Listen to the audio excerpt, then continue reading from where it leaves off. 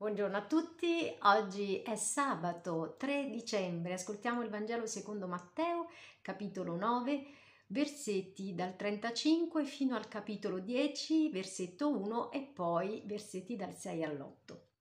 In quel tempo Gesù percorreva tutte le città e i villaggi insegnando nelle loro sinagoghe, annunciando il Vangelo del Regno e guarendo ogni malattia e ogni infermità. Vedendo le folle ne sentì compassione, perché erano stanche e sfinite come pecore che non hanno pastore. Allora disse ai suoi discepoli, la messa è abbondante, ma sono pochi gli operai. Pregate dunque il Signore della messe perché mandi operai nella sua messe. Chiamati a sé i suoi discepoli, diede loro il potere sugli spiriti impuri per scacciarli e guarire ogni malattia e ogni infermità. E li inviò, ordinando loro rivolgetevi alle pecore perdute della casa di Israele. Strada facendo predicate, dicendo che il regno dei cieli è vicino, guarite gli infermi, risuscitate i morti, purificate i lebrosi, scacciate i demoni, gratuitamente avete ricevuto, gratuitamente date. Il Vangelo di oggi ce ne accorgiamo è un po' un insieme di diversi brani, eh, di diversi versetti. Ecco, è un po' un testo composto dalla liturgia per farci contemplare Gesù che percorre le città e i villaggi annunciando il regno di Dio. E in questo suo passaggio compie delle azioni specifiche, in particolare insegna e guarisce. Poi notiamo che l'Evangelista Matteo intende illustrare attraverso questo stile suo particolarmente sintetico ma intenso il fatto che la predicazione di Gesù sia fatta non solo di parole ma anche di atti, di azioni che hanno lo scopo di guarire da ogni malattia e infermità, come ci comunica proprio questo testo. Così l'Evangelista Matteo subito mostra la sorgente di questo tipo di predicazione.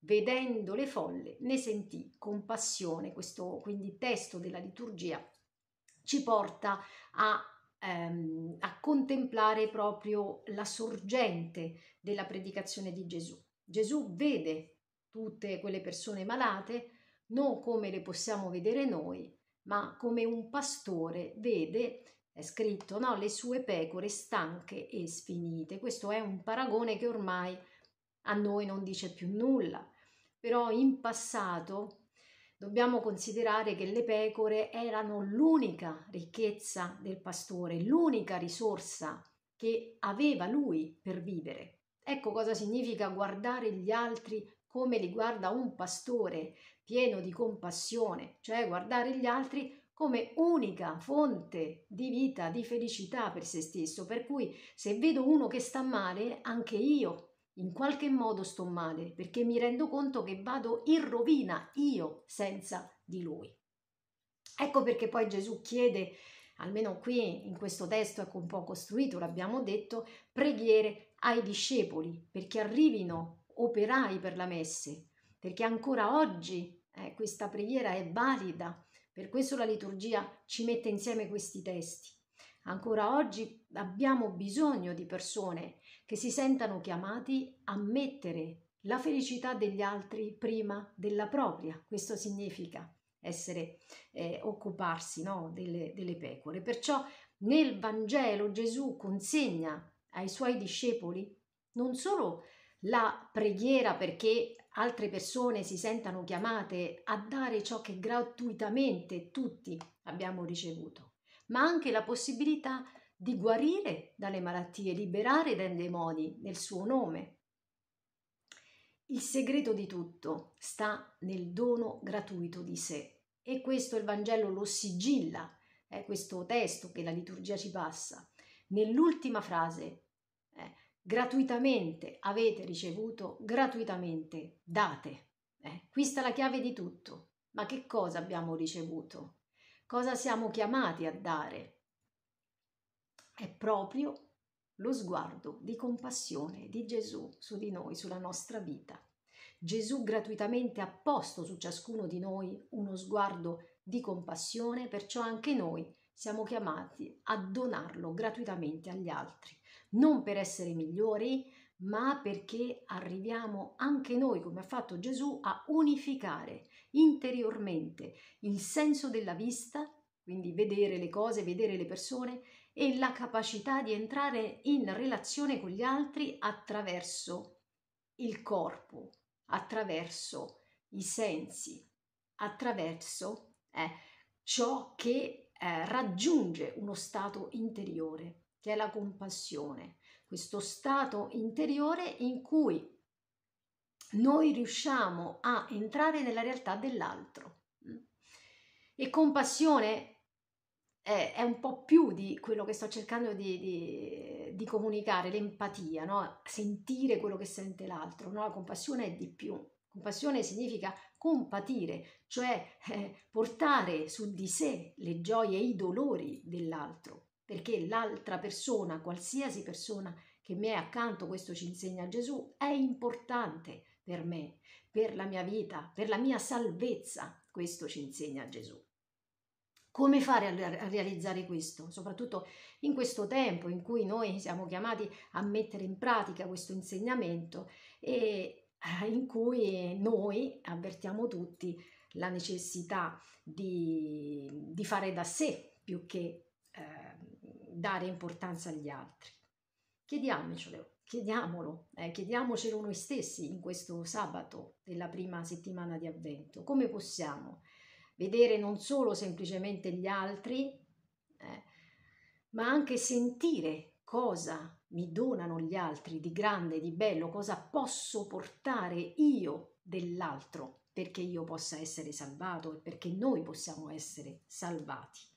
Non si tratta solo di affinare semplicemente una capacità umana di accoglienza, qua lo comprendiamo, ma di accogliere proprio questo dono di Dio, questo dono di Dio che mi eh, fa assomigliare a questo pastore che si prende cura delle pecore, questo dono di Dio che mi comunica anche l'altro. Eh. E si tratta quindi di entrare in questa capacità che la Bibbia e la sapienza antica chiama ascolto.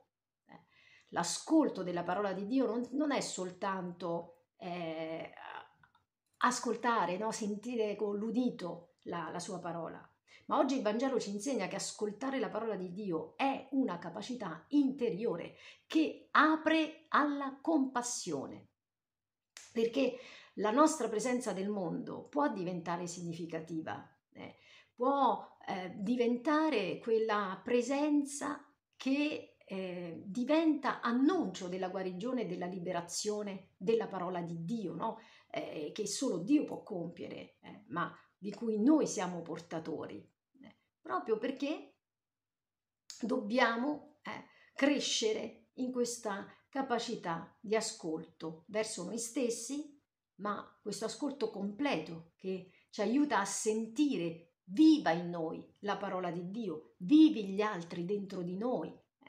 E quindi così poter generare in noi la parola di Dio, generare in noi ciò che gli altri no, eh, richiedono e ciò che gli altri ci donano. E quindi eh, donare gratuitamente ciò che riceviamo, come sottolinea la frase, la fine proprio di questo testo e come ci insegna anche la profezia del profeta Isaia che oggi la liturgia ci fa ascoltare nella prima lettura e che insieme a voi voglio pregare e pronunciare in alcune sue parti. Siamo nel libro del profeta Isaia, capitolo 30, versetti dal 19 e poi capitolo 21 e eh, 20, versetti 21 e poi il 26.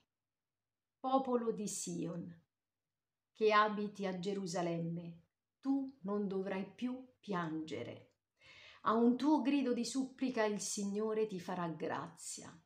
Appena udrà, ti darà risposta anche se il Signore ti darà il pane dell'afflizione e l'acqua della tribolazione, non si terrà più nascosto il tuo Maestro. I tuoi occhi vedranno il tuo Maestro, i tuoi orecchi sentiranno questa parola dietro di te. Questa è la strada, percorretela. Casomai andiate a destra o a sinistra, La luce della luna sarà come la luce del sole, e la luce del sole sarà sette volte di più, come la luce di sette giorni, quando il Signore curerà la piaga del suo popolo e guarirà le levidure prodotte dalle sue percosse. Impariamo da queste parole del profeta, da questa liturgia che celebriamo oggi, a sentire col cuore le parole di Dio, le parole di Gesù, perché mentre camminiamo nel buio, nel deserto, ascoltiamo dentro il cuore, ascoltiamo questa capacità di ascolto, il grido della Chiesa, Maranatà, vieni Signore Gesù, grido di speranza, grido che ci dona la pace. Buona giornata.